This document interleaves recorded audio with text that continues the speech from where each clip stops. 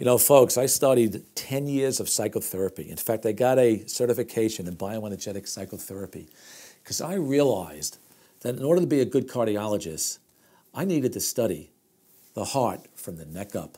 Yes, it's true. There's a hot, I'll say it again, a hot brain heart line. What goes on in the brain can affect the heart and vice versa. And stress can hurt you. There's no doubt about it. Now, look, we all have stress in our life. We can't live a life without stress. But it's not the stress that hurts you, but it's how you cope.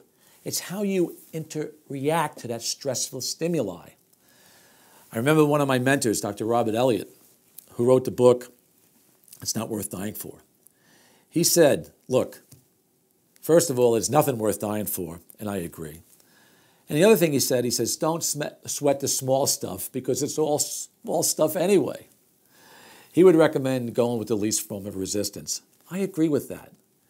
I agree with the fact that if you're dealing with a situation that you have no control over, we'll go with the flow. Again, live in your awareness. Trust your feelings. If you're coping with a situation and you don't know what to do, but you feel angry or sad, well, experience the feeling.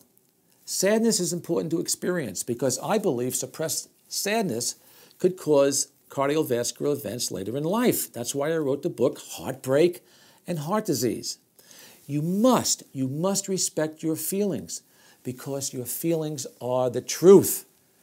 Remember, whatever goes down in this part of the body Tell us the truth. Above the neck lies a lot. So, if you're sad, again, don't ask why I'm sad. Just be sad and cry if you want to. Crying is the best way to alleviate the heartbreak that could lead to heart problems later on. My favorite stress reduction techniques include breathing, because when you breathe into pain, psychic pain, emotional pain, you're breathing, you're taking a full breath, and again, you're supporting the parasympathetic limb of the autonomic nervous system. I like laughter. Laughter is great. And if you laugh deeply enough, you could cry.